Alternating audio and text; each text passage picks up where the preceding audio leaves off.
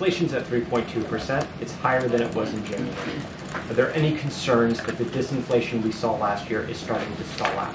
So look, um, um, I'm going to say that uh, this is a president ha- that is doing everything that we can to fight inflation, right? To build an economy from the bottom up, middle out, and we've been pretty consistent about that. And over uh, what we have seen over the past several months uh, is that inflation is down two thirds, and core inflation is at the lowest since it, since May of 2021.